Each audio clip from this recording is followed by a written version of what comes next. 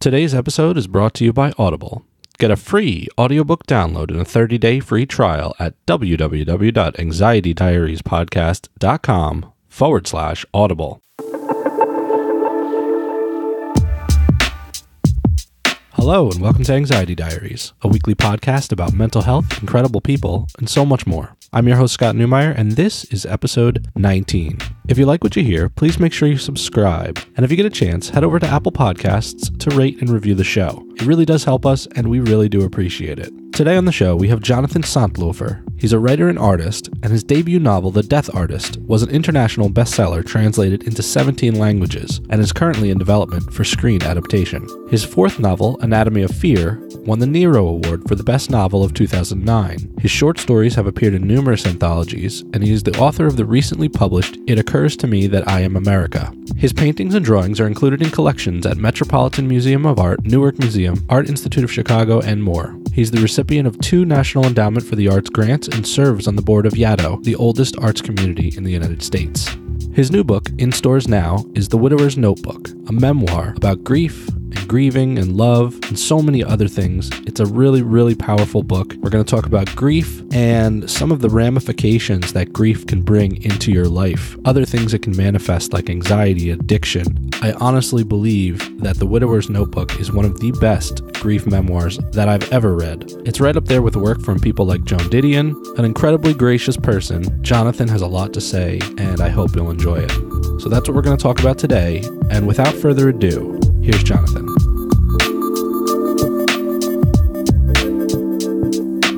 Welcome to the podcast, Jonathan. Thank you so much for being here. It's great to be here, Scott. Thanks so much. I've been looking forward to this talk since I first read this book months ago. It just shook me to the core. Uh, you probably saw my tweet. I did. I saw, you know, it's interesting when I come upon these tweets or posts and people say that because, you know, we all live in a kind of bubble despite the explosion of social media. And so you never really know how your work affects other people. And when and to read something like that is extraordinary. I do say to people when they say you know like sort of somebody wrote recently you know it tore my heart apart but mended it back up and I said, Well, I'm really glad for that second part. You know, right. I don't intentionally want to break anybody's heart. But thank you for that. I, I, I, really appreciated that post very much. It's a fantastic book. It's in stores now, and you've gotten some incredible reviews. You've got some awesome blurbs. How has it felt to finally get this out into the world? I'll be perfectly honest with you. You know, it, it's one of those things, you know, to write a memoir that deals with loss and the greatest loss in my life is filled with a with complex emotions, you know.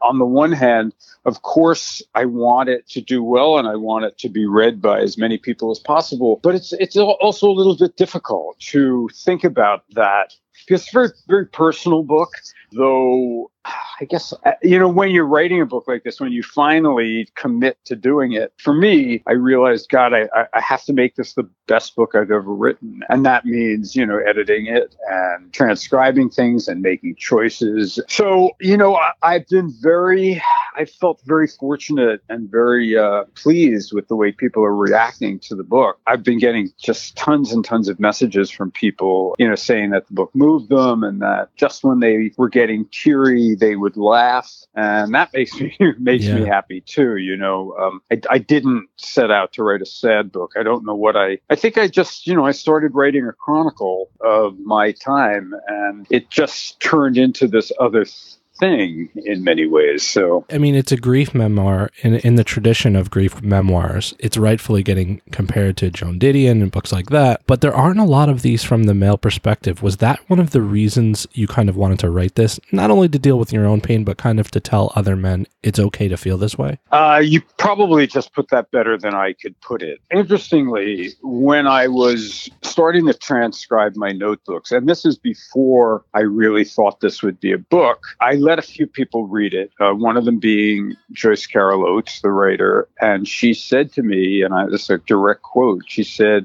"You have to keep writing this because men don't write these kind of books." Yeah. And it was a very encouraging message to me. You know, for me, I couldn't read or do much for a year after my my wife's death was very sudden, very unexpected, really horrifying, and I couldn't read or do anything. But when I started reading, what I read were grief memoirs by really good writers. Um, and they were helpful to me. You know, they made me feel less alone and part of this greater thing that we call humanity. So I guess that was important to me, but I also did feel, and people have been saying this, which is really making me happy, that to have the male perspective, it's not that it's all that different, but that it's a voice we haven't heard so much. And a- anytime somebody compares me to Joan Didion, which has now been several times, you know, I get chills. Joan Didion's one of my one of our greatest writers, one of my favorite writers. Uh, I'll just tell you that I I had read The Year of Magical Thinking long before my wife died, when when the book came out, and I thought it was a beautiful book. But when I read it after my wife died, it resonated with me in a totally different way. You know, in that book, she refers to herself as a cool customer because that's the way the hospital talked about her the night John Gregory Dunne, her husband, died. And I thought, you know, that's the mask that I kind of wear in the world as a cool customer. And, and so I, I very much related to that book.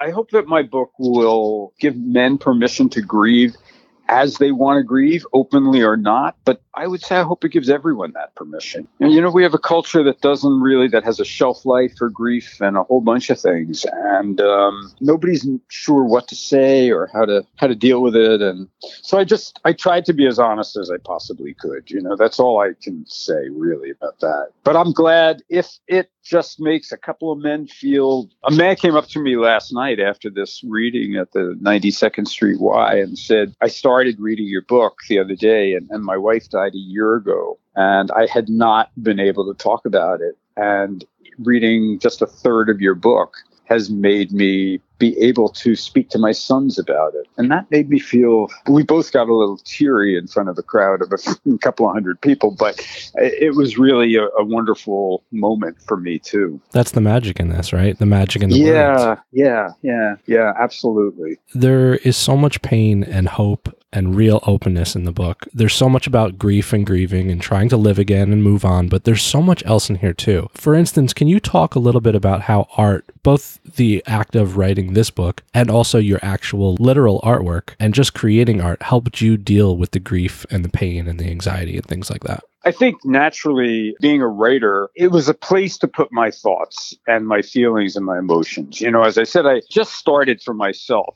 I had never journaled or kept a diary or anything like that. But I think when people are going through, particularly the immediacy and aftermath of trauma and grief, writing things down for yourself is very helpful. Uh, it was for me. It made it helped me make sense of you know everything felt very chaotic and i felt very outside of myself and so i would come home and just write these things in in my journals uh, which ultimately became the widower's notebook you know it was just helpful for me it was good for me in terms of the drawings, the actual artwork, I went to art school and I, I spent the first half of my adult life as a painter. So drawing is something I love, comes fairly naturally to me. And I, I did what maybe seems like a weird thing, but I couldn't have photographs in my home. I, you know, I, it was too hard for me to come across a photograph of my wife and myself or, or with our daughter.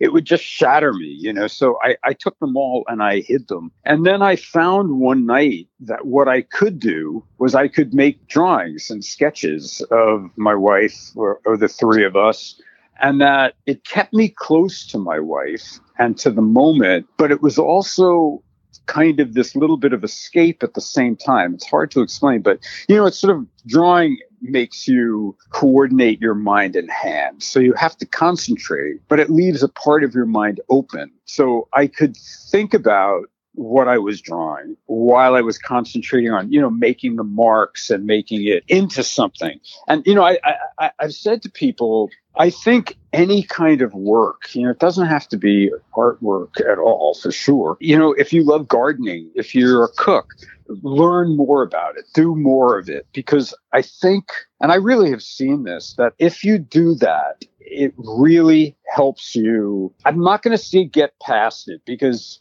I'm not sure you get past or let's say get over these things. They're part of you forever, but it does help you move forward. It does help you. So it was a great help to me. And, you know, I must have done 80 sketches during a two year period after my wife's death. And, and the publisher Penguin uh, liked them so much you know she just cho- chose her 12 favorites to put in the actual book. And i let her choose whatever she wanted. It was fine with me. I didn't say oh what about this one? What about this one? She chose what she liked and that was that was fine with me. I love how you've been releasing more of them on twitter though. Yeah. It's almost like yeah. a bonus content for the book. A really good friend of mine who had seen a whole batch of the drawings or many of the drawings said oh you should just release these as a book. And i said you know i, I really don't want to do that. It doesn't feel right right. It doesn't feel like something I want to do.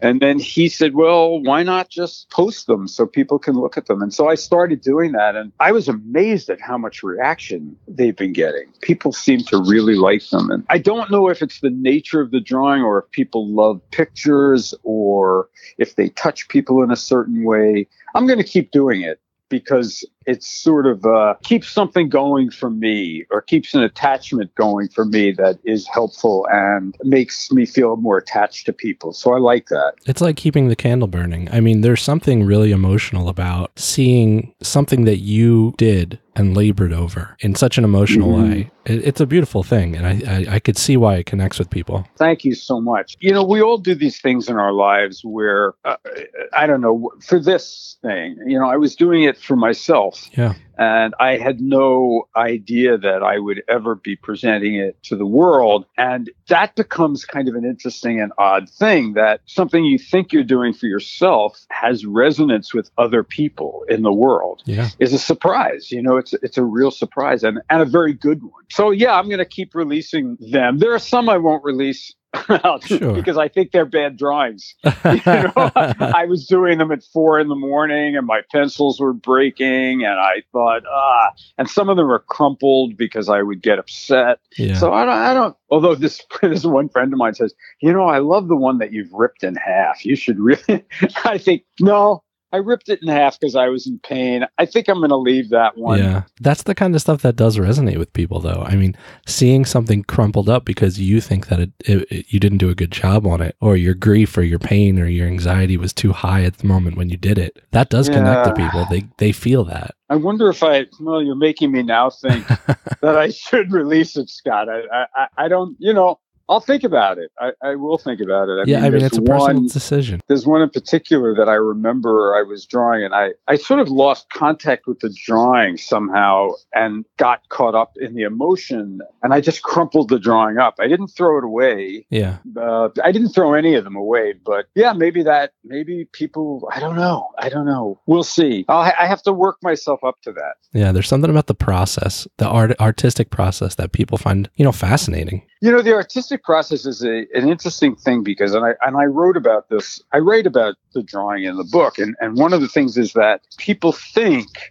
that you know they think of artists, visual artists, as these kind of madmen, mad women, you know, sure. painting and out of control and drinking and doing all this stuff in their studio. There are plenty of them, and there has been history of them, but really, to make decent art it's very controlled. You know, you have to somehow figure out how to sort of pull in your own emotional state and put it into the work yeah. so that other people can have that emotion. I remember my graduate school painting teacher said, take all of your emotions, good and bad, and put them in your work. You know, don't go crazy. Put them in your work. And I thought that was, I have that quote on my wall. I love it. you know, so so the days that I feel crazy, you know. Yeah, sure. We all have. yeah. yeah.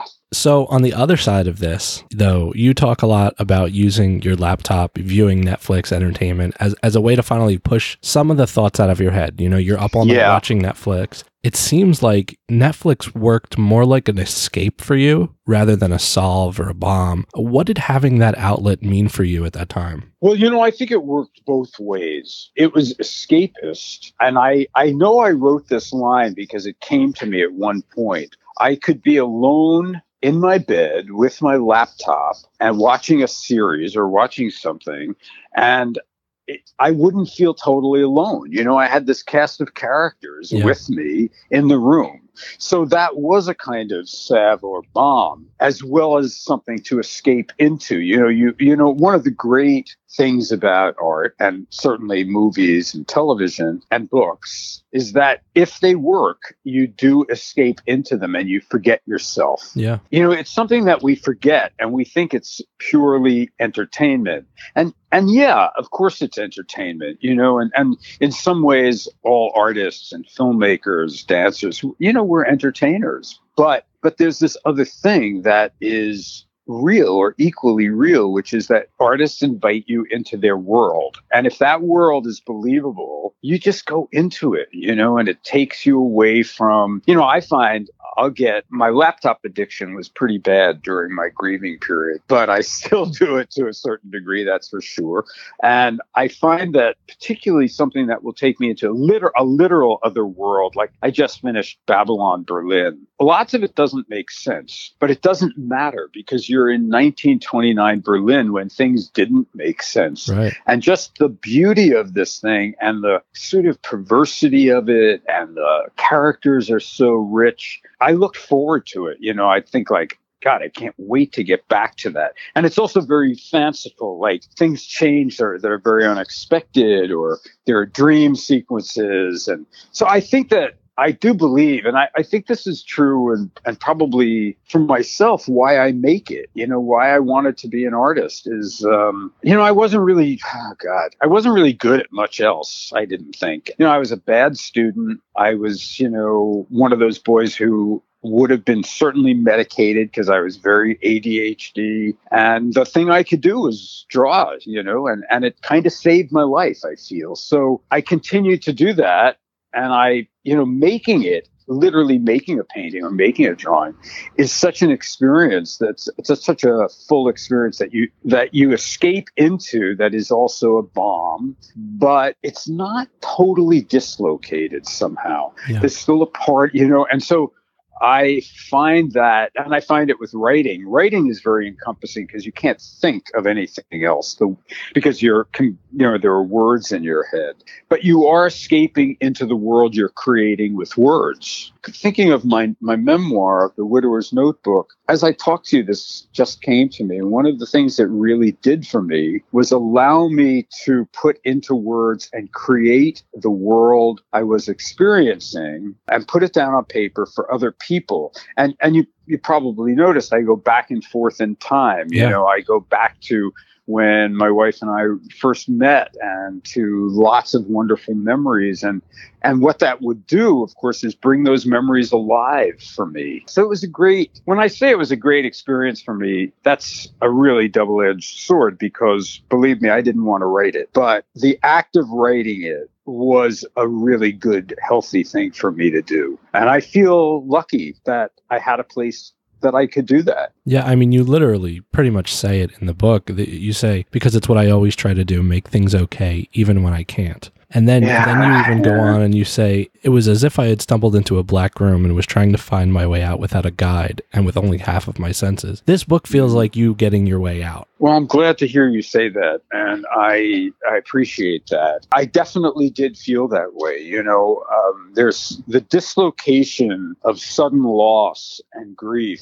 is very hard to explain because it's changing sort of moment by moment, and and it's uh, things feel very unreal. I, I would say that's the word that comes to me. It feels very unreal. And what starts to happen, a woman came up to me last night at the Y afterward and said her husband had died eight years ago and she didn't yet feel better about it. And I asked her, Well, what are you doing to make yourself feel better? And she said, Nothing. And I said, that's your work. Yeah. That's what you've got to do. You have just find what do you love to do? What is something you want to learn? Do you want to learn a language? Do you just do something? I said to her, I promise you, you will start to feel better. And and I don't listen, I'm not I didn't write a how-to book. I don't like how-to books. I'm not an expert in anything. I I can only relate what things felt like for me. And, you know, I've talked to a lot of, obviously, to a lot of people who have suffered loss or trauma. And I think there is a pretty fairly general agreement that doing something is a lot better than doing nothing. I yeah. think you know that, Scott, right? For sure. I mean, it works the same way with mental illness, mental health. Right. You got to find your passion, right? Follow right. your bliss. Right. And right. that's how you get through things, you know, that yeah. plus time.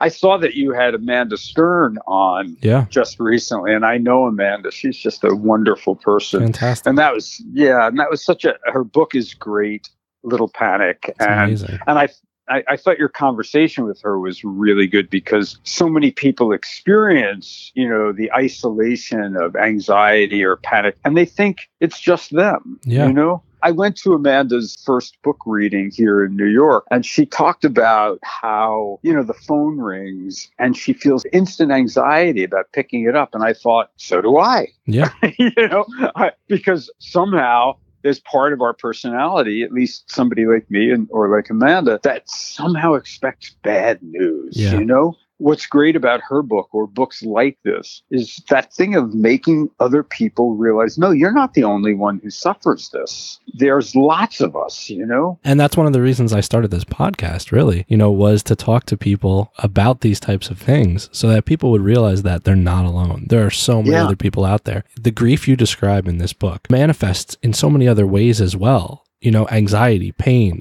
addiction, for instance. Mhm. You know, all Yeah, these things yeah. manifest out of what you're dealing with. Yeah, it's a weird thing because you know when you list those things, I think when you're under in the midst of extreme grief or loss, all of these things are magnified. I said mm-hmm. last night at this talk, and it, it just came to me that Joyce Carol Oates is talking about a part in her book, which she calls something like cruel, crude, and well intentioned. The thing, the weird things people said to her. And I have a section of my book called Stupid Things Said by Smart People. Right. You know, where people said things to me like I thought, oh my God, what? Yeah. you know but but i said last night that you know you're in such a raw state when when you're going through this that i almost want to take that out of my book even though people seem to like it because it's it's funny in It's a, human. in a it- yeah and it is human and none of us know what to say. And i think that that is true for many deeply feeling people. Things affect them really strongly. I mean I, in my normal life things do. And during this period it was just magnified. And my yeah the pills and all that. Yeah that's in the book. Do you still feel that pull of that addiction ever? Because there's all these mysteries solved throughout, but that mystery was still there for me. well the first thing you know I, I couldn't sleep at all Yeah. And I, I guess I should explain that my wife's death was so sudden. My wife died in, in a matter of probably 10 minutes in my arms, unexpectedly. It was shattering. And if you'd been talking to me three years ago, I, I couldn't have even just said what I what I've said to you. I can now verbalize it and say it. But because of that, when I went to see my regular doctor, who I been seeing for years. He said, and I said to him, I can't sleep. I can't close my eyes without seeing everything that happened again. He said, Well, you're suffering from, you know, some form of post traumatic stress disorder. Yeah. And he gave me Ambien. Now, no offense to Ambien, but Yeah. it was not it was not good for me. It just was not at all good for me. And then he gave me lorazepam, which was too good for me. right. I loved it, you know, and um, it it took, you know, it just sort of softened the edge I, edge for me uh, when I'd get into bed, and I think I yeah, I have a scene in my book where I can't find my lorazepam. And I almost have a meltdown. You know, I'm ready to go out on the streets and try and score, you know, drugs. I am not at that stage anymore. I still do on occasion when I'm particularly anxious or sad. I still will, you know, break off a piece of Sure. lorazepam and take it Yeah. but I don't I don't take them during the day because well for two reasons. One because I want to make sure they'll still have some efficacy for sleeping purposes, and two because I think they make me ever so slightly fuzzy and dopey. Yeah. So I'm I'm a little bit afraid of taking them during the day and then I'm not going to make sense. So I certainly don't feel addicted to those drugs anymore. But I'm not against them, you know. Yeah. I'm not, and I'm not against people taking antidepressants or anything like, you know.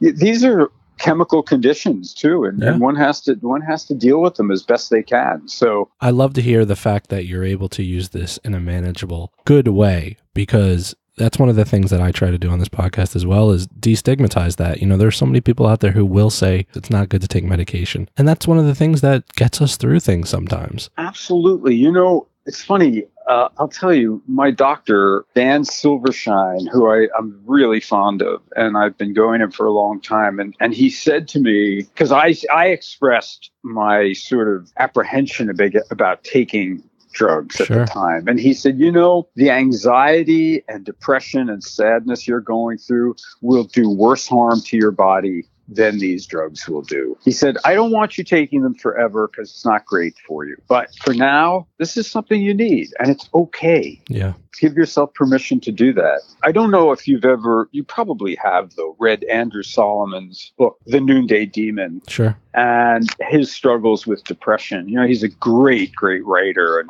I think his book, Far From the Tree, is one of the most important books of the decade. But The Noonday Demon talks about his struggle with depression and how drugs helped him. And this is a man who is incredibly productive and brilliant. And I say, thank God there were drugs to help him, you know? Yeah.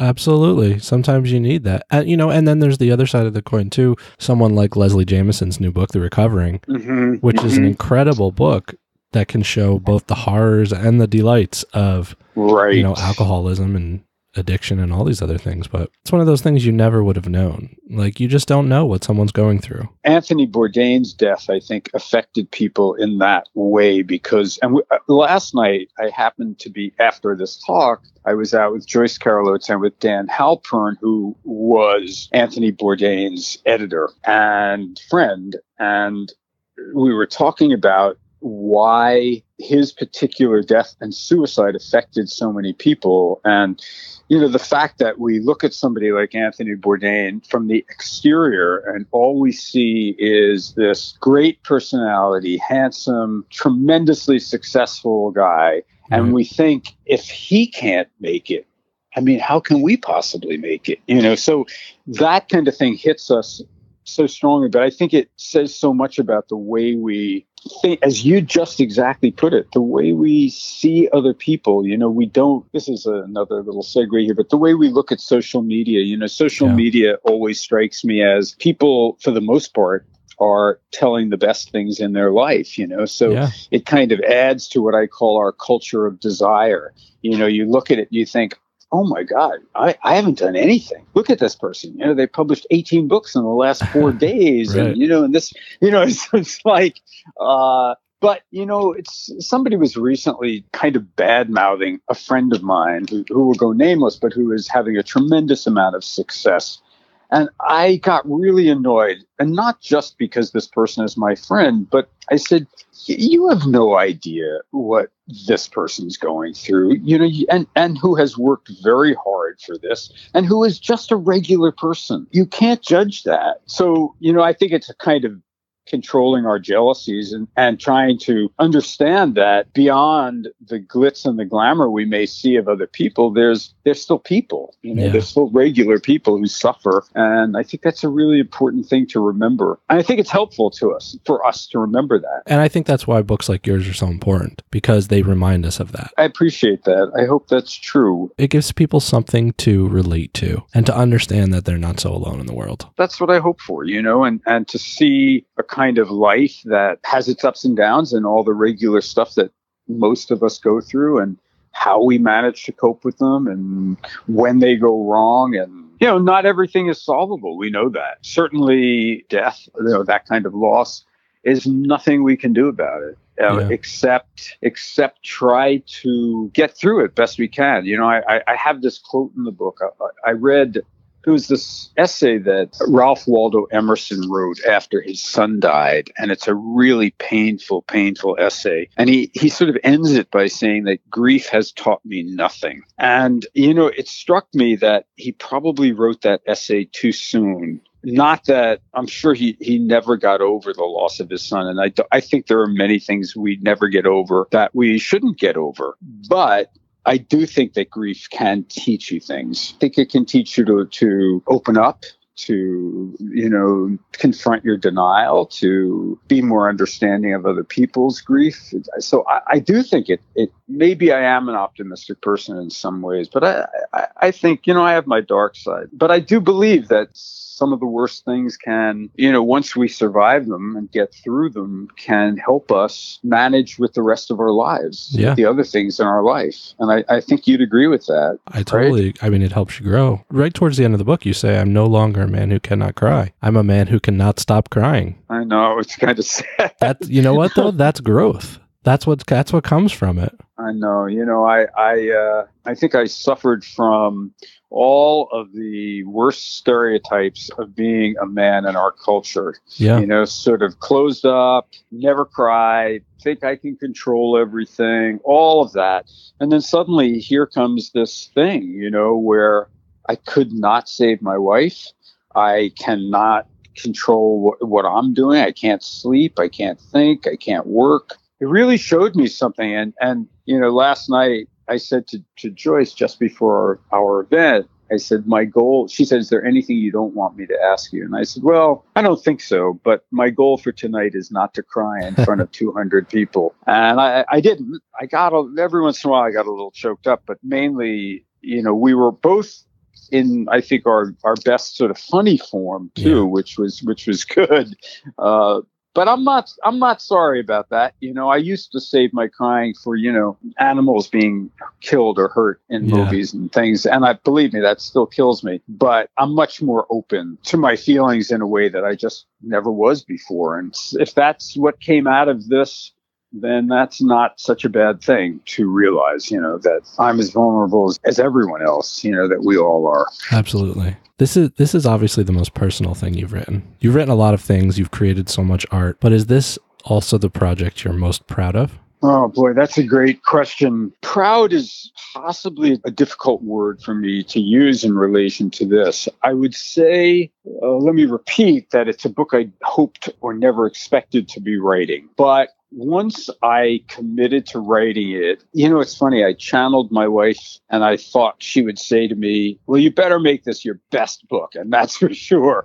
And I do think it is probably my best book. Am I proud of it? I guess what I would say in a kind of double edged way is that I'm proud I was able to do it. And I was proud to, you know, to, to finish it and get it out there in the world. Somebody asked me the other day, you know, well, what's the difference? They asked me a very obvious question, you know, what's the difference between fiction and writing a memoir? And I said, well, the obvious thing is you're not making it up. You know, when you're writing a novel, it's fun. It's a little bit torture, but it's fun because you're making it up, you know, and you're following this adventure and this story. And that's great when you're writing a memoir, you are drawing upon truth and what you've experienced I think Joyce said it last night in our conversation that you have to make a lot of choices though, because you have so much truth. You know, I had five filled notebooks of things that I had written. And you know, a lot of them mean I don't think would mean anything to anyone but me, and so uh, they're not in the book. It's still work to put it together. Otherwise, it's just minutia. Exactly. Yeah. And and you know, I'll tell you something, Scott. I believe this sounds really highfalutin, but it's not. I believe in art. And what I what I mean by that is that you have to take whatever it is you're doing, if it's a scribble or if it's words, you have to shape it into something. Yeah. You know, you have to make it something that will be able to be read or seen and understood and felt by other people. Otherwise, there's no real point in letting it go out there. So I am, now you're bringing me back to proud. I am proud that I was able to do that, you know, that I was able to shape this book. I mean, there were moments when I, I think I say this in the book that I, I couldn't believe I'm editing and thinking about the sentences in a book this personal, you know. But I did. I had to. I had to. You know. I mean, uh, why would anyone else want to read it then? You know. And and people are telling me that, which is kind of funny in a way, but the thing that keeps coming up, and it was one of the first questions last night, which was this book reads like a, you know, it's like a thriller. It's like a page turner. Yeah.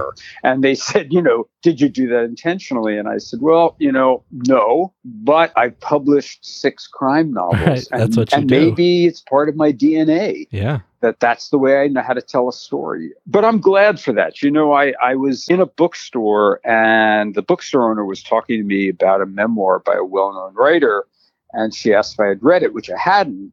And she, you know, nameless, but she said, "Oh, don't." She said, "There's no engine in it. You know, you have no reason to keep reading." And you know, it's odd, but I, you know, I teach writing, and I, I tell my students, you've got to keep. You have to have an engine in your work. Yeah. You know, and your, you know, people have to have something to keep reading for. Now, did I think about that consciously? I don't think I did, and yet I must have.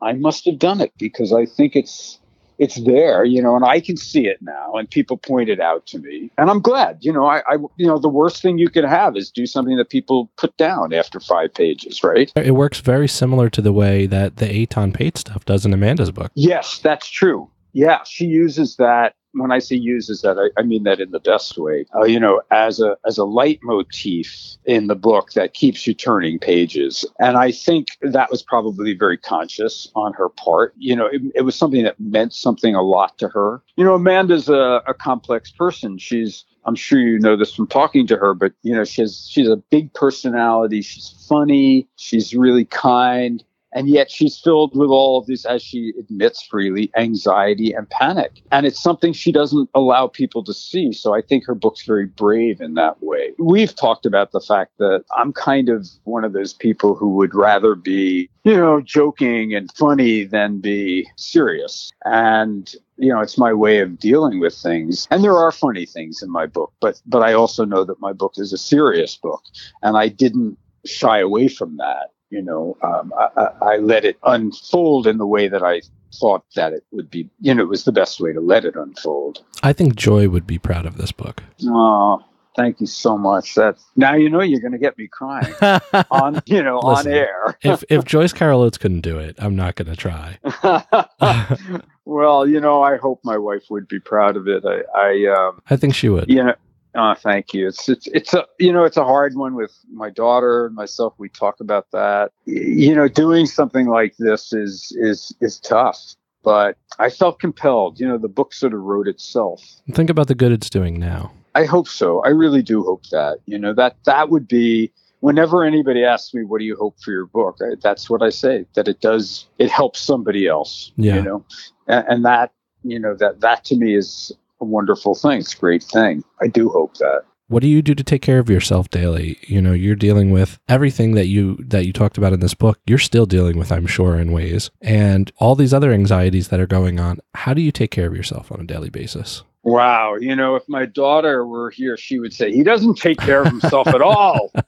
So, you know, the other day she was talking to me and she said, "Daddy, do me a favor go sit in a chair and breathe for a while. Yeah. Of course, what happens to me is I try and meditate, and I'm good at meditating and breathing when things are fine and not anxious and not crazy. And when they are, I'm not so good at it. But I did yesterday, you know, I, I knew I had this big event and I did sit down and I was very conscious about my breathing and trying not to think about anything but my breathing. I also I do a variety of things. I mean, one of the things I do, and one of the reasons that I, I'm still in this noisy, dirty, crazy place called New York is that it's a great walking city. And so I make it a point, no matter what I'm doing, if I've been writing for a few hours or drawing, that I go out and I take walks. And my minimum is two miles a day, which is, by the way, very easy. Very easy if you can walk. If you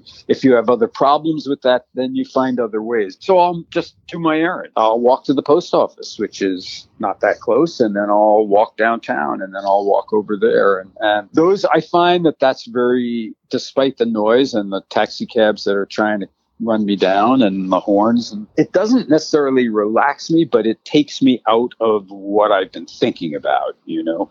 And I think that that is very important. Beyond that, I, I would say that my work has become very important to as a kind of healthy exercise. You know, when I find it's not being healthy, when I realize, for example, I've been sitting for way too long in one spot writing, I get up and I do something else. But I think for the most part, doing my work is good for me. I am one of those people who loves to do work and do things. So um, I'm not somebody who likes to sit around. So that is helpful to me as well. A couple of my friends are trying to get me to do yoga. I've done a few classes. Yeah.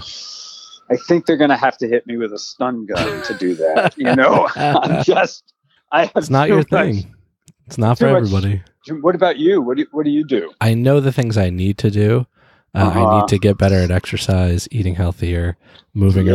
around, stuff like that. But breathing is the is the main thing for me, man. Um, you know, just taking a few minutes to breathe in in a very measured way. That's Yeah. what works for me. Well, that's know? what I've been doing. I've been doing that. And you know what's crazy about that is you can do that for 10 minutes Yeah. and you feel the results. Oh, for sure. And yet, and yet, to get yourself to sit down and do that for 10 minutes, why is it so hard? I know. You know? I know. Because Uh, you, you know I'm- what though, I'm very bad with guilt. I always feel like I should be doing something else. Ah, You know, Yeah. something quote unquote more productive. oh, yeah, I know about that one. I know about that one. But you know, one of the things maybe we need to say to ourselves is if I don't take these 10, 15 minutes to breathe and relax, I'm not going to be able to do that other stuff, or I'm not going to be able to do it well. I agree. That's the approach to take. Yeah. know, you have to be able to fill your cup. Yeah, absolutely. Yeah, because it'll run dry, and that that's not so good. Yep. So, where can the people find you online? Well, I have a difficult name, which is unfortunate, but it's Jonathan, spelled in the normal way, J O N A T H A N. I call that the normal way. So the people who spell it with an O at the end just got annoyed. Yeah. Uh, my last name is really difficult, Santlofer. It's S like Sam, A N T L O F E-R, jonathansantlofer.com. But if you just put my name in, you can go to my website. There's a lot of stuff there. Or you could probably Google me. And somebody told me they, if you write in the widower's notebook, it'll pop up because it's getting a lot of attention. And then from there, you could probably go to my website and see some drawings. And You're all over the social medias. uh, well, I don't know if I'm all over the media. That would that would be a little much for everyone, but enough, you know. And and and I hope people will read the book and and you know, that's a crazy word to use, but I hope they'll enjoy it. And what I mean by that is take something take something away from it, you know. I think they will. I certainly have. And I think that people that listen to this podcast, especially, will because it works on so many different levels. You know, like I said, grief manifests in so many other ways as well. Yeah. Everybody knows somebody who's lost someone. Everybody. Yeah, indeed. And, you know, I hate to say it because I don't want to depress people, but, you know, we're all going to lose someone. Yeah. Um, and it is no fun. It is no fun. But we have to learn to talk about it and to figure out strategies and ways to, you know, I had some friends who disappeared, but I had many friends who were amazing Yeah. for me, you know, and that's, we do just, we have to talk about it. I think it's, you know, we don't want to spend our lives talking about it because then we'll be paralyzed with it. But it is a real thing and we can't hide it, is what I'm saying, you know? That's all. We, we can't hide it. And, and, and I hope people will relate to that and come away not feeling sad, but feeling like, oh, okay, this guy did it. You know, he doesn't seem that special. I can do it too, you know? Yeah. So, Well, I think it, it works on that level. I think it works on several levels. It's a great book. It's in stores now, and you can find it anywhere books are sold. thank you so much, Scott. I No, really thank appreciate you. that. It's great talking to you. Call us, leave us a message at 732 903 4441 or drop us an email at anxietydiariespodcast at gmail.com. You can find the podcast at www.anxietydiariespodcast.com where you can sign up for our newsletter as well. And you can find us on Instagram and Facebook at Anxiety Diaries Podcast. We're also on Twitter at Anxiety Diary Pod. Thanks again for listening. Be well, and we'll see you next week.